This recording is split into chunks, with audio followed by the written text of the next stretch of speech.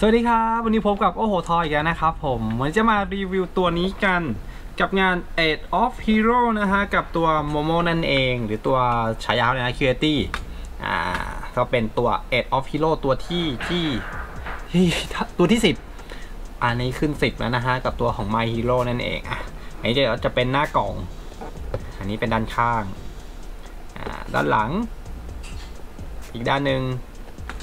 ฮะด้านบน แล้วก็ด้านล่าง โอเคเดี๋ยวจะมาแกะดูข้างในกันเลยชุบอ่าอันนี้ในกล่องนะฮะ ก็จะเป็นลักษณะแบบนี้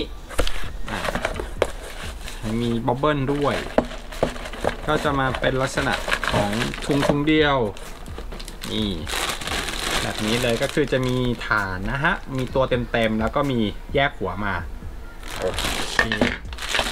เราจะมาแกะดูข้างในกันเลย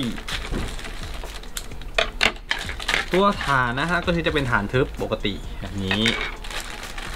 อันนี้ตัวนะฮะนี่ลักษณะของตัวก็คือจะลงสีแบบปกติ ไม่ได้มีไฮไลท์ส่วนไหนเท่าไหร่นะฮะอันนี้ก็คือจะเป็นชุดสีแดงปกติอ่าจะมีหนังสืออยู่ที่ข้างหลังนะฮะตัวกางเกงกระโปรง รองเท้านี่ลักษณะแบบนี้อ่าชึบอะแล้วก็หัว ก็จะมาเป็นลักษณะของผมยาวอ่าสีดำปกติ อันนี้หน้าจะเป็นประมาณนี้อ่าเป็นลงสีปกตินะฮะ ไม่ได้มีไฮไลท์ส่วนไหนเท่าไหร่ อันนี้คือคือตัวปกติ ประกอบ ก็จะเป็นลักษณะประมาณนี้เหมือนเดิมฮะเอ็ดออฟฮีโร่ก็คือจะเป็นลักษณะของอยืนเฉยๆ คือไม่ได้เล่นแบบออกท่าทางอะไรเท่าไหร่นะฮะ ก็คือจะเป็นลักษณะยืนโชว์แบบนี้ ที่ออกมาเกือบทุกตัวเลยนะ มันจะต่างกับตัวงานของ Amazing ที่จะเน้นเป็นแบบท่าทางเอกลักษณ์ของแต่ละตัวไปเลย อย่างตัวเอทาวิโลก็คือยืนเฉยๆ แบบนี้ชึบนะครับนี่อ่าส่วนความสูงของตัวนี้นะครับ มันจะอยู่ที่ประมาณ 19 เซน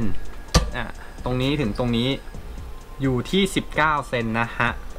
ซึ่งก็อะเหมือนเดิมฮะ ไซส์เป็นปกติของ Age of Hero อยู่แล้วก็คือไซส์จะประมาณนี้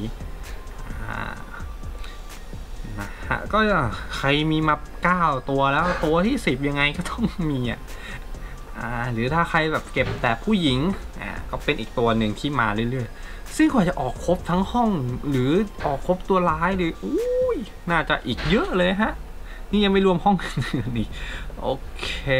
วันนี้เราก็เอามารีวิวให้ดูนะฮะ กับตัว Ed of Hero กับโมโมนั่นเองหรือ Creaty นะฮะถ้าใครชอบก็อย่าลืมกดไลค์กด Subscribe ให้โอโหทอยของเราด้วยสำหรับวันนี้ สวัสดีครับ